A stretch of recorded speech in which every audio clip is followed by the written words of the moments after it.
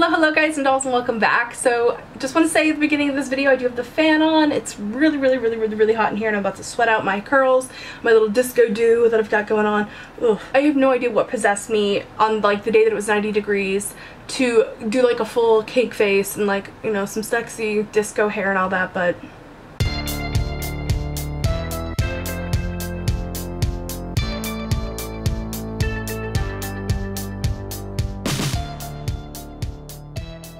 I want to make this video to sort of clarify some things.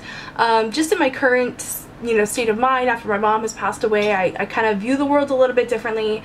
And, um, you know, all, and I, I'm not trying to make like a boohoo sad video, but it's just a general fact that when something like that happens, you do tend to see the world differently. And more to the point, I've always sort of had this attitude on YouTube of like, never over explain anything, don't apologize for things that don't need to be apologized for because there's just no need. Uh, but in the world of YouTube, things get complicated. Um, sometimes it feels a little bit like a one-sided conversation because I record this video and then you guys comment back and I can comment back to an individual, not a group, and all that. So I generally don't make these kinds of videos where I would just sort of come on here. This isn't like a frequently asked questions video or anything. It's just sort of like a clarification of the terms of service of my channel. YouTube. As I'm coming back to doing videos and stuff, I am noticing all these makeup trends, right? There's clown contouring.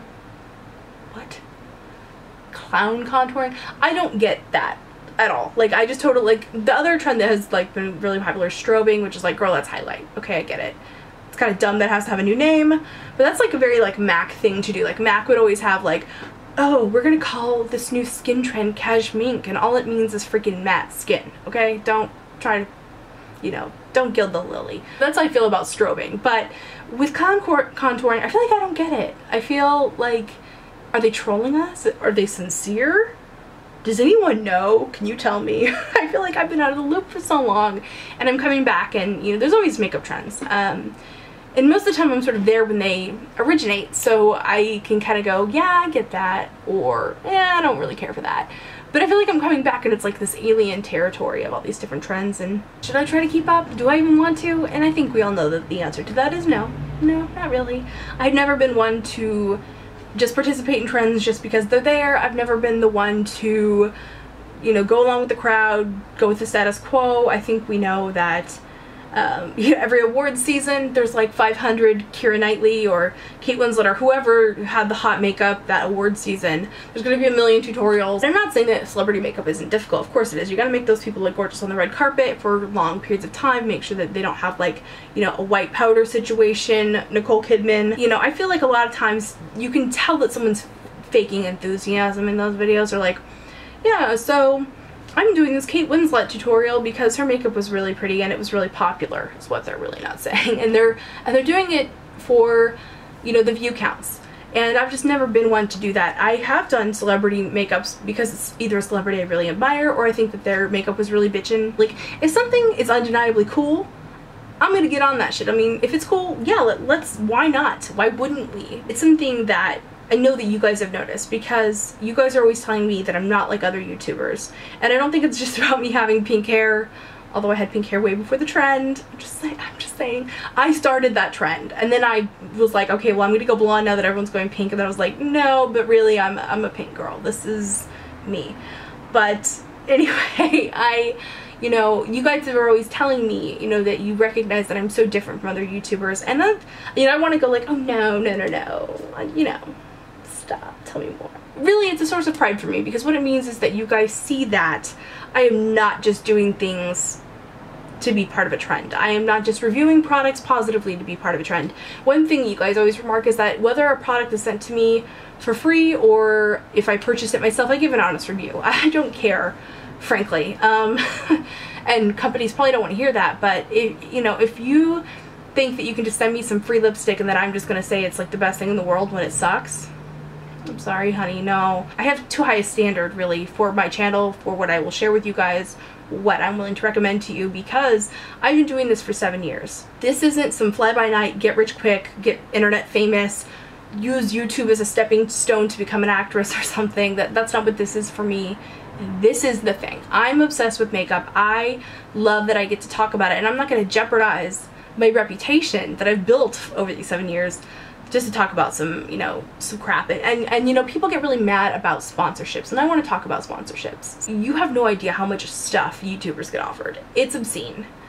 The amount of money that we are offered to talk about things, and also the ridiculously vile scamming things in my eyes anyway. I'm very very sensitive to you know sharing anything with you guys that turns out to be a scam or anything like that because i'm like hell no i don't i don't want to feed, my subscribers to the wolves. That, that's another thing too is that there's companies that like email you every freaking day to be like hey you know do our you know whatever the product is. And it's just like it's a harassment at a certain point where you're like i've said no. I don't want to review this. You have to stop emailing me.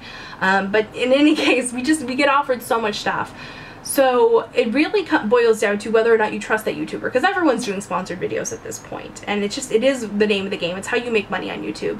Um, it's how you do YouTube as a job and if you are only doing YouTube as a hobby and you're able to have a successful channel and never ever do a sponsored video, more power to you and I really admire that. But for the rest of us, this is a job, and in order to make enough money to pay our bills, sometimes we have to do sponsored videos.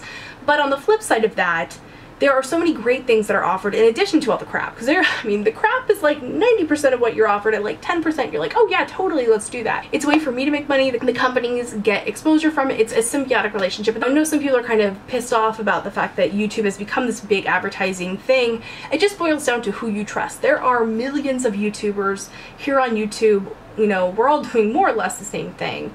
And if you feel like you can't trust me or you can't trust Bob or you can't trust Sally, find another channel and watch that. You know, you don't have to tear somebody down like, oh, this person always lies in their videos and da da da da.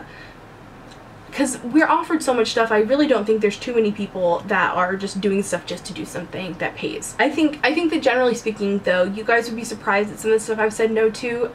Big dollar amounts to talk about things that at the end of the day, I didn't feel like they were on brand for me or they were things that I don't think would be helpful for you guys or most importantly I feel like it's a scam or it's somehow a um, like sharky enterprise I'm like mm, I'm not I'm not we're not doing that it's just it's just not worth my reputation and ruining the best job in the world which is you know being able to sit here talk about really deeply important things like like lipstick and hair dye and clothes. In all seriousness, by talking about these trivial things, I'm able to kind of peek the door into people's self-esteem. You know, by teaching a girl how to do the perfect eyeliner flick, it might give her more confidence, make her feel more flirty, and help her express her inside on the outside. I'm able to inspire people to play with their makeup and get creative and do artistic, crazy, fun stuff. Seeing some of the people that are subscribed to me, seeing, you know, your makeup evolve over time is so inspiring. Some of you are like so talented. I'm like, damn, I wish I could do that. And that's just, um, for someone who is essentially a makeup teacher, it's actually really rewarding and just a little bit jealous. you know, in terms of like my fashion stuff, you know, I get a lot of haterade on that because, oh, here's a fat girl trying to look sexy. Well, guess what? There's a lot of fat girls out there and some of them are sexy and you just have to deal with it. You know, I end up doing so much good with that because, you know, while on, on the surface you're like, this is just like a clothing haul, what good is this doing? But you know, when you're seeing someone who looks like you and you're you're being represented and you're seeing hey, here's this person who is fat and she's awesome. And that means that I can maybe be awesome too. And I can't tell you how many people I've touched with that. In fact, you guys know because those of you who are watching who are in those shoes have told me how much I've helped you and it makes me feel so good. And it's that is the best part of this job is knowing how I help people, knowing that I am putting these positive vibes out there and I'm changing things in a, in a small little way you know, and doing something that I love. It's great. Um, and that kind of brings me to my final discussion of this video. I want to talk about my username, uh, vintage or tacky. It's a word or a phrase or a username that sort of it, it's sort of a head scratcher, you know? It doesn't have anything to do with makeup, and I, I don't use my name as my YouTube uh, username, although I don't hide my name anymore. For a long time I hid my name. It's Cora Avalar. Hello. I mean, I have thought about changing my username about 50 million times. People are always talking me out of it, and they're like, that's your brand. And I'm like, well, what do you think my username means? And they're like, you make video about vintage and tacky stuff. And I'm like, mm, kind of, not really, I don't know. I, I yeah, I, there's no mission statement to my channel, and yet there kind of is. It's about not pigeonholing yourself. It's about, you know, these two things that seem at odds with each other. Like vintage is thought of like classy and, you know, well put together, or, you know, uh, old-fashioned and, you know, just held in a higher esteem. And tacky is thought of as like loud and obnoxious and undesirable and definitely like classless. Something that's in poor taste. And there are these two ideas. It's like, well, how do these go together? Well, hello. Um, you know, I love vintage clothes. I love old music. I love, you know, vintage furnishings. I love all those things. But sometimes those things can also be tacky, which is actually where the original username came from because I worked at a thrift store and I, me and the girls that would work there would be like, is this vintage or tacky? You know, and, and do we care? It's like, do we like it anyway? Um, and there's this there's this line between something being like, you know, tacky and retro and like, and then vintage and classy and oh, that's a, that's good vintage, you know. Um, but who draws that distinction? Who gets to be the tastemaker? I say we're the tastemakers. You decide what you like. And that's why we say be vintage or tacky, just be yourself.